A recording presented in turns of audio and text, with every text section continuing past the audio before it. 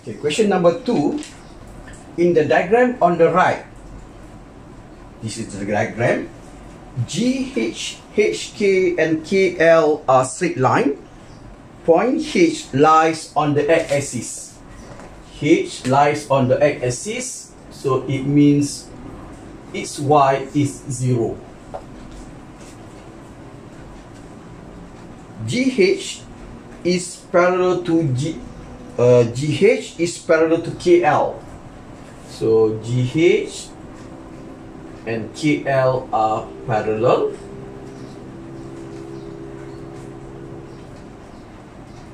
And HK is parallel to the y-axis. Okay, HK is parallel to the y-axis to indicate that the two lines are parallel. Given the equation of GH is 2x plus y equals 6, state the equation of this line HK. Okay, so A is the equation of HK, this line. Okay, so we have learned that equation of the straight line is y equals y, y equals mx plus c. But that is not true for all cases. Okay, so if it's little bit slanting, so the straight line will be y equals to mx plus c. The other way, y equals to mx plus c. But then whenever we are talking about like this, the straight line is like that only, the equation will be limited to x equals something. Something I do not know at the moment. That is the what is the value of x that we know is there. So in order to know, so the equation will be x equals something. At the moment, I do not know anything about h or k. But then looking at the line GH, I know I can find the value of H. That is, I know I can find the value of X for H. Because Y I already know. Okay. So, since I know already the value of Y is 0, I just substitute. So, I say 2x plus 0 equal to 6 so 2x will be equal to 6. So x equal to 6 over 2, which is 3. So the line of HK is x equals to 3. And what does it mean by x equal to 3? So in in the sense that all the values of x on the straight line is 3 here could be if there is 1 here.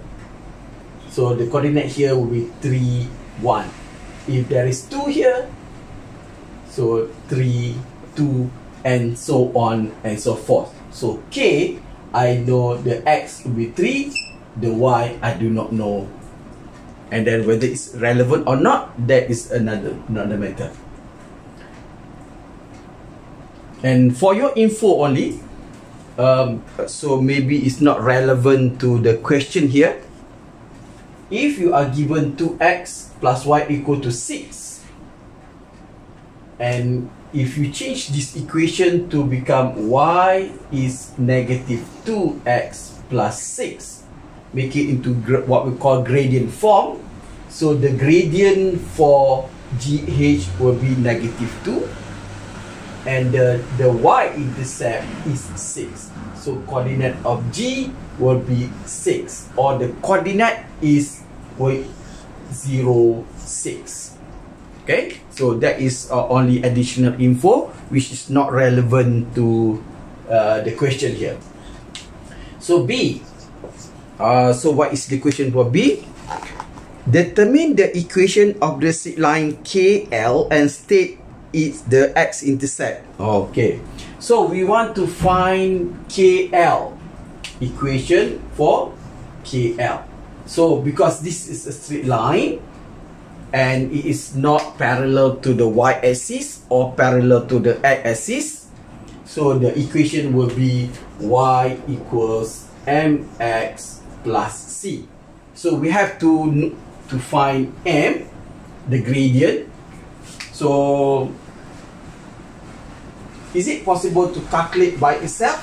We have we know k, the x for k will be 3, but we do not know the y. And then L we know 10 negative 4. So is it possible to find the gradient uh, of KL by itself? No. So what are the things that we have known so far? That two lines that are parallel, they have same gradient. So KL and GH are parallel. So OK and this is GH. As I mentioned earlier, the gradient is negative 2. So the gradient of GH is negative 2 so the gradient for KL, gradient for KL is negative 2 also. Okay? So if the gradient are equal, are they having the same? Or is the equation also the same? Of course not. Okay? So why not? Because C are not shared between GH and KL. So this is KL. If I will extend, I will meet the y-axis somewhere here. So the value of C will be different. So how do we find the value of C? There is a coordinate on the straight line KL.